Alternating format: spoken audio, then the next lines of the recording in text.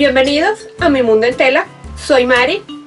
Para concluir mi serie de bolsos, hoy estaré trabajando con ustedes este bolso moderno. Si este es el primer bolso que tú estás viendo de esta serie, te aconsejo y te recomiendo que vayas al primer bolso que fue la bandolera. Luego hicimos nuestro bolso playero y también el bolso clásico. Los invito a que se queden conmigo, continúen viendo este video y junto conmigo hagamos nuestro último bolso de esta serie.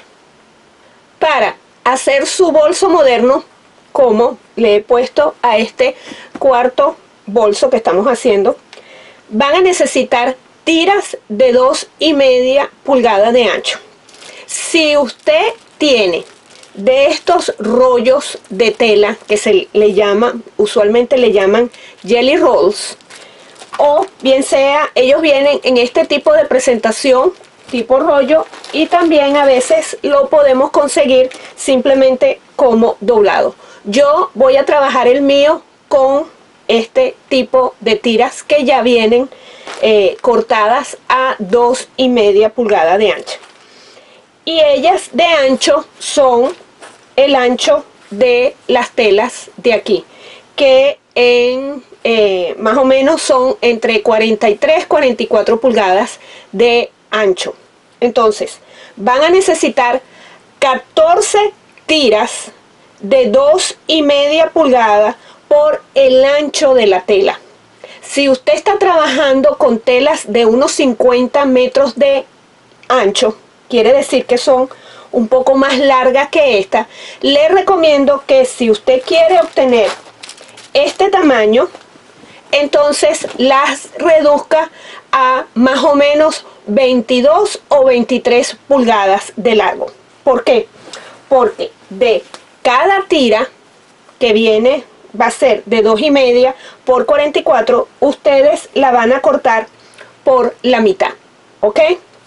Y eso me va a servir para el, como decir, el frente de mi bolso y el revés de mi bolso. Porque si prestamos atención en el bolso, fíjense que este modelo no va a llevar forro, sino que de una vez vamos, una vez que estemos trabajando el frente, también vamos a estar trabajando el interior del bolso.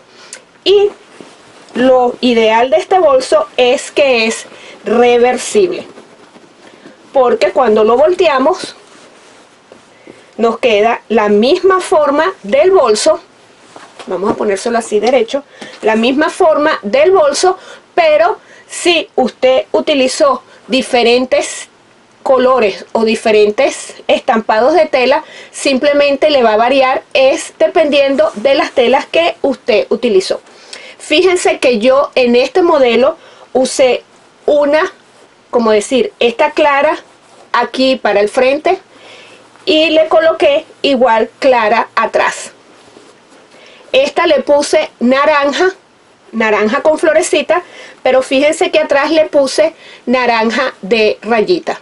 Entonces, en verdad, es según lo que usted tenga y su creatividad.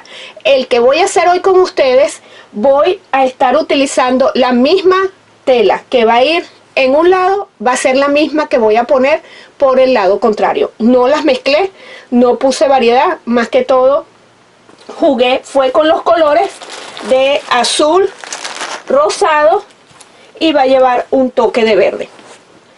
Ok, también van a necesitar guata.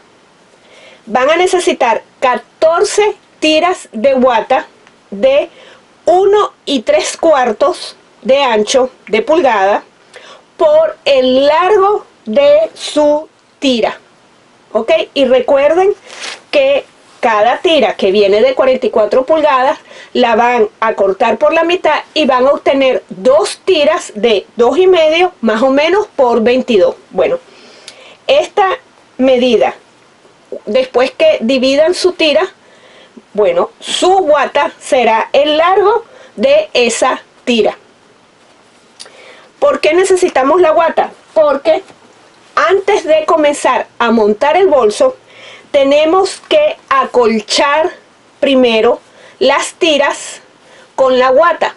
Entonces, de una vez van a colocar dos tiras delante y revés. Si lo hacen de diferente, bueno, simplemente eh, decidan cuál tela va a ir a un lado y cuál tela va a ir en el otro. Les repito, yo estoy usando la misma al frente y al revés.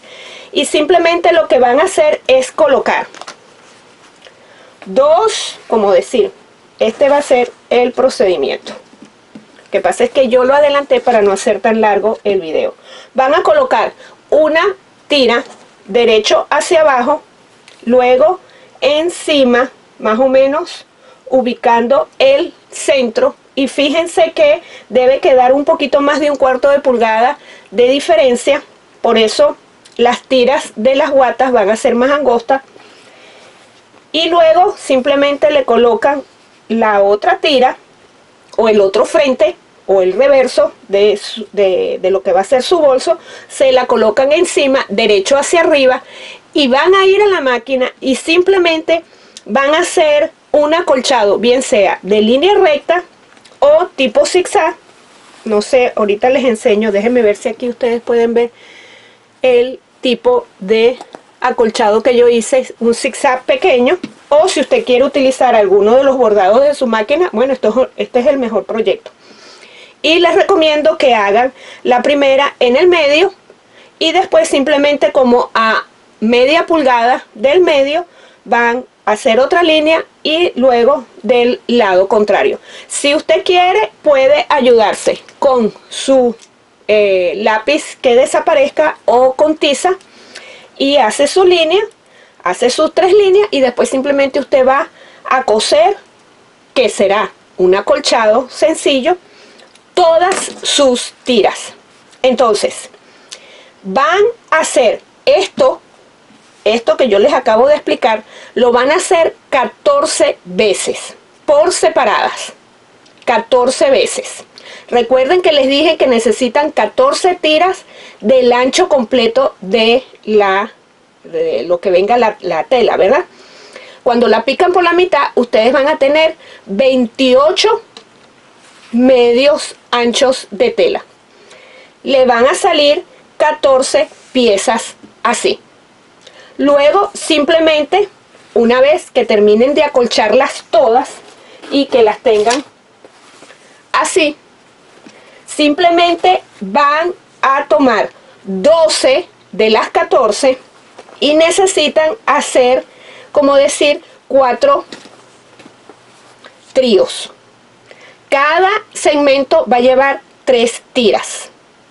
Entonces, cuando decidan cuál quieren que vaya seguida de la que los colores que ustedes hayan decidido, simplemente van a volver a su máquina y van a poner derecho con derecho o mejor dicho lado que vaya a ir de bien sea del frente o el revés pero que sean estas dos que están aquí en mi caso no hay ningún problema porque estoy utilizando la misma por delante y por detrás, entonces no tengo que estarle prestando atención a eso porque por delante y por detrás me va a quedar igual. Pero si usted quiere que le quede diferente, entonces preste atención cómo usted quiere que vayan las combinaciones. Entonces, si yo quiero que esta azul, supongamos que por detrás tengo otra, pero yo quiero que esta azul esté seguida de esta rosada, entonces yo voy a poner derecho con derecho, las alineo y voy a coser a un cuarto pulgada de distancia las dos tiras. Preferiblemente si tiene su pie de doble arrastre, bueno, esto es una muy buena oportunidad para sacarlo y usarlo, porque van a estar cosiendo cuatro capas de tela. Una vez que cosan la primera, ¿verdad? El, primer dúo, la van a abrir y les va a quedar algo como decir así. Va a quedar, un lado va a quedar con costura rústica y el otro va a quedar con costura escondida. Luego simplemente la que viene después, la, o la siguiente que usted decidió, va a hacer exactamente lo mismo. Tomando en cuenta que todas las costuras escondidas le queden en un solo lado y todas las costuras expuestas le queden en el lado, en el mismo lado. ¿Ok? Ese detalle es muy importante. Y luego las dos que le van a sobrar van a ser los tirantes o las asas.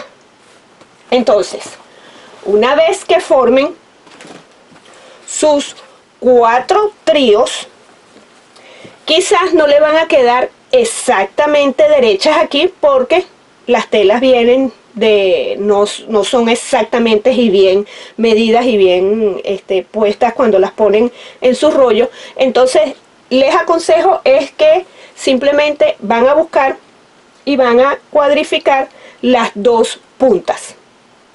Y no importa si les queda esta parte así del orillo de la tela porque yo creo que ya se han dado cuenta y el acabado de uno de los lados del bolso es rústico como nuestra cobija rústica que ya en una oportunidad se, se las enseñé.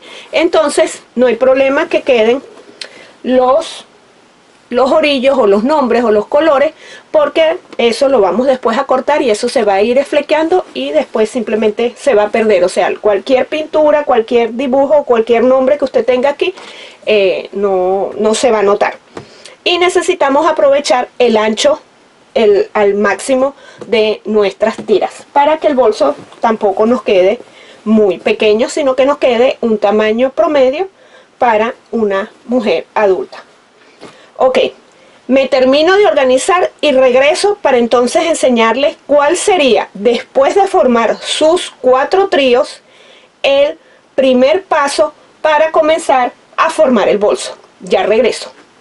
Una vez que formen sus cuatro tríos, a las dos tiras ya acolchadas que les van a quedar de extra, van a coserla a un cuarto de pulgada por ambos lados las dos tiras tienen que hacerle eso, esto para cerrar y darle un mejor acabado también a las tiras, ¿ok?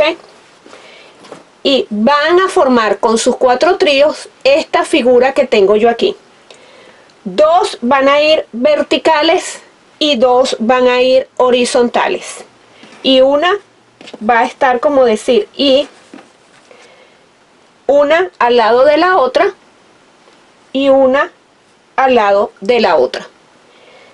Luego van a coser esta pieza, la primera vertical con la primera horizontal y como tengo todos mis lados rústicos hacia arriba, entonces la siguiente costura tengo que asegurarme que todo el tiempo mientras esté armando el bolso todas las costuras rústicas estén hacia, hacia el mismo lado. Y por supuesto, si esto es así, automáticamente todas las costuras escondidas las voy a tener del lado contrario. Entonces, voy, fíjense que voy simplemente a agarrar la vertical con esta horizontal y necesito alinearla en esta punta que tengo aquí.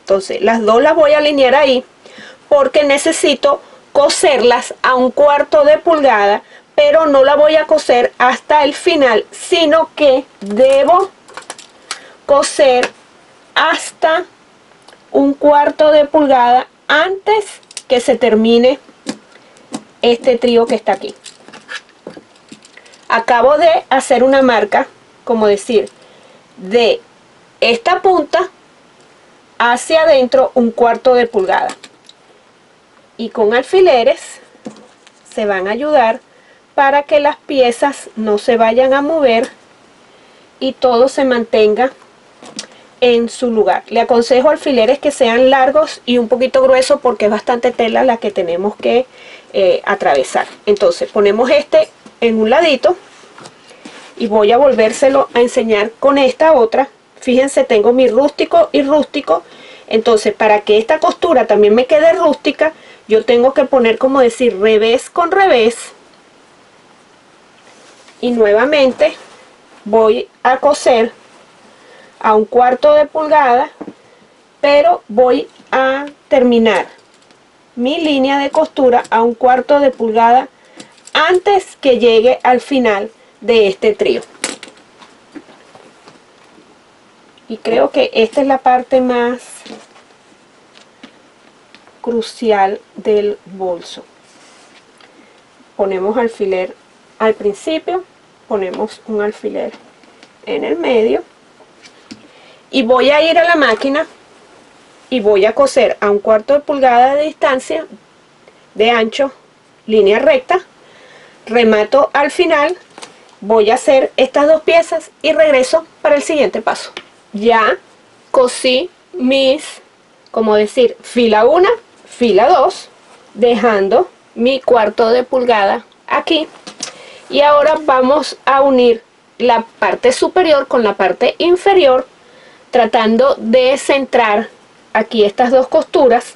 Y vamos a dejar nuevamente un cuarto de pulgada en ambas esquinas. Van a marcarla de aquí para adentro un cuarto de pulgada y más o menos calculan de esta medida que tengo aquí, de esta línea que tengo aquí para adentro un cuarto de pulgada también. Y nuevamente prestamos atención a todas nuestras costuras y fíjense que todas mis costuras rústicas están quedando en la misma en la misma dirección pues en la misma en, en el mismo lado de mi bolso entonces ahora lo que voy a hacer es nuevamente reverso con reverso busco o encaja verdad el centro una costura la voy a mandar hacia la derecha, otra hacia la izquierda. No necesariamente necesitan planchar, fíjense que no hemos planchado nada, no hace falta.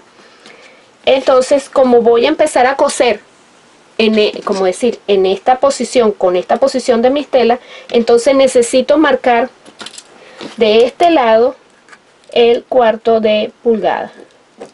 Y en esta oportunidad no es que voy a comenzar justamente en una orilla, sino que voy a comenzar donde hice la marca. Entonces, cuando comience, remato y simplemente después me voy a venir línea recta, paso el centro hasta este cuarto de pulgada antes de esta punta.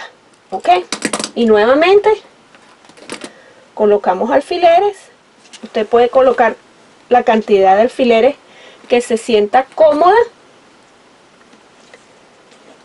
y voy a la máquina y voy a coser voy a unir como decir mis dos filas comenzando desde el cuarto de pulgada que marqué hasta el cuarto de pulgada del lado contrario. Ya regreso. Una vez que cosan sus cuatro piezas y fíjense que en estas cuatro puntas tienen que tener el cuarto de pulgada suelto. Entonces vamos a empezar a unir los laterales y recordando nuevamente costura escondida con costura escondida las vamos a alinear. Y quizás aquí es donde se nos puede presentar un poquito más de problemas si no dejaron bien aquí su cuarto pulgada de espacio. Y voy a poner un alfiler ahí en la como decir en la esquina y alineamos ponemos alfiler hasta esta punta aquí. Y fíjense que como decir una tira nos va a quedar más larga que la otra y es así como debe quedar. Y esto que yo acabo de hacer aquí lo vamos a hacer en todos los laterales y fíjense van a tener el bolso como decir así simplemente derecho con costura escondida con derecho costura escondida. En mi caso la costura rústica me va a quedar hacia afuera ambos lados. Y aquí montamos y buscamos que nos quede lo más parejo que se pueda esas puntas. Y colocamos alfiler. Y qué vamos a hacer con esto vamos a ir a la máquina y en esta oportunidad vamos a coser desde la parte de abajo hasta donde esté la tira que está más corta. Y aquí sí cosemos completo ok y simplemente van a repetir estas. Mire ya lo hice una vez lo hice dos veces después tengo una tercera. Si quieren pueden ir a la máquina con todos los lados ya con alfiler. Si no pueden ir trabajando uno a uno si creen que se les hace más fácil porque como lo vamos a coser en la máquina es de esta manera. Como decir, van a poner esta cantidad de tela hacia abajo y simplemente van a buscar su línea recta para entonces coser a un cuarto de pulgada de ancho hasta donde hay la pieza de abajo. En todos los cuatro lados les va a sobrar este pedazo voy a comenzar a coser mis laterales y regreso para el siguiente paso. Ya cosí mis cuatro lados y llamo su atención porque cuando coloquen los dos laterales van a comenzar a coser donde terminaron de coser cuando estuvimos colocando las cuatro piezas ok entonces desde ese punto de ahí en adelante entonces van a coser sus laterales. Y quizás el último es el que es un poquito más complicado porque ya está como decir redondeado el bolso pero no se preocupe porque lo que tiene simplemente es agarrar y tratar de poner todo el bolso hacia su mano izquierda y usted pelea con él un poquito hasta que logre tener esta línea recta ¿ok? y una vez que cosan sus cuatro laterales ya el bolso está formado simplemente les toca decidir dependiendo de las telas que ustedes usaron cuál quiere que vaya como decir en, en la parte delantera y cualquiera cuál de las que usted decidió eh, coser quiere que vaya en la parte de atrás. Por ejemplo en mi caso como tengo las dos azules en común en el medio entonces me toca decidir si quiero que haya rosado y verde y el azul que vaya en el medio. Igual se verá en la parte de atrás verde y rojo. Y creo que me voy a decidir así para que no haya tanta diferencia porque si lo pongo así prácticamente el bolso se me va a ver más verde de un lado y más rosado de otro. Y de verdad no quiero que luzca de esa manera. Entonces me voy con el azul en el medio ok una vez que hagan esto van necesitan hacer el mismo la misma puntada a un cuarto de pulgada de distancia que hicimos para los las asas necesitamos hacerlas aquí a todo alrededor del bolso ok y eso es para sellar también esta como decir estas piezas que todavía aquí están abiertas y están expuestas.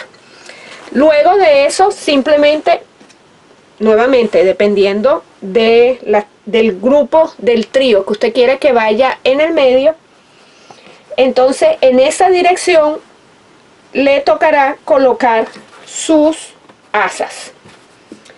Y bien sea que la pongan por el lado vamos a llamar el lado rústico el lado derecho o también la pueden coser o adherir por el lado que están las costuras escondidas. Eso como usted quiera. Entonces voy a volver a ir a la máquina a hacer el repisado alrededor de toda la parte superior de mi bolso a un cuarto de pulgada de distancia y luego simplemente voy para aprovechar el largo de mi tira. Y este largo de asa les recuerdo que es más o menos 22 porque es la mitad de una tira completa. Si usted es una persona alta y necesita que esta tira sea más larga entonces simplemente le va como decir, le va a empatar otro pedazo y usted la puede hacer al largo que usted quiera. Lo que sí es que una vez que eh, la empate, entonces también tendrá que poner su guata un poquito más larga, hacer todo el procedimiento tal cual como lo hicimos. Igualito vamos a calcular, como decir, de esta punta a esta punta, que coincidan con las puntas de mi asa y ahí pueden, pueden colocar un alfiler después que hagan el repisado, ok. Esto que estoy haciendo eh, se hace después que se haga el repisado y calcular que las asas queden de punta a punta nos va a garantizar que queden derecha y que las dos queden al mismo tamaño y entonces la otra por detrás simplemente me tocará colocarla aquí. Y chequeando que no me no la tuerza colocamos otro alfiler aquí. Y simplemente lo que vamos a hacer es coser a un cuarto pulgada del la, el borde de la del asa. Vamos a tratar de hacer un rectángulo cortico, pequeñito, porque la idea es agarrar aquí en el medio la mayor cantidad de cinta. Y les aconsejo que como estas son las asas y es donde más estrés este bolso va a llevar, entonces lo hagan, lo, pasen dos o tres veces para que cuando la, o sea, cuando la vayan a usar esté bien, bien seguro. Una vez que cosan sus tiras, repisen toda la orilla, lo que nos queda es a cortar las costuras que están expuestas, cortarlas como lo hicimos con el edredón rústico. Voy a dejar el link debajo, la información donde está ese video del edredón rústico para que las personas que de repente es primera vez que están escuchando de esta técnica rústica, bueno, eh, vean cómo se puede realizar también en un edredón. Y la idea de cortar, hacerle piquetes a toda la costura rústica, toda, inclusive a las asas, hay que cortarlas, para que después que la lavemos, entonces obtenemos este efecto como de pelusa. Eso sí, cuando corte, mucho cuidado de no cortar la costura. Cuando usted unió como decir, las tres tiras, ¿ok? Para hacer el trío. Mucho cuidado no cortar esa costura, sino simplemente hacerle piquetes corticos para que después que la lavemos y que después que la comencemos a usar, ella poco a poco vaya soltando cada vez más los hilos y a medida que, la lavemos y que la, eh, la lavamos y la usamos, más bonita se nos va a ver. Y después de hacer todos esos piquetes que va a llevar su buen rato, su bolso estará listo. Voy a mi pared de diseño para despedirme de todos ustedes y su bolso moderno estará listo. Primero para la lavadora y luego para comenzarlo a usar. Muchas gracias por haber estado conmigo y compartido conmigo durante esta serie de nuestros cuatro diferentes bolsos. Gracias por las personas que me han enviado sus fotos y sé que pronto veré sus bolsos modernos.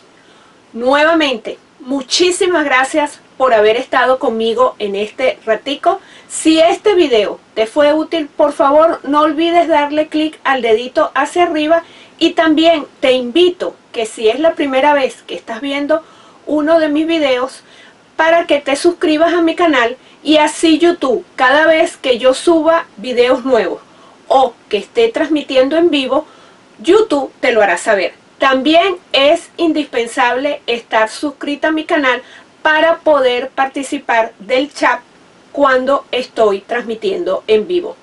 Estoy a la orden también a través de mis redes sociales que estarán publicadas aquí abajo junto con el link del video o del tutorial donde les enseño a hacer el edredón rústico. Muchas gracias nuevamente, gracias a todas las personas que continúan suscribiéndose, que continúan bendiciéndome y también muchísimas gracias por sus comentarios. Si este video te fue útil, no olvides por favor darle clic al dedito hacia arriba y sin más que decirles por este video, nos vemos pronto.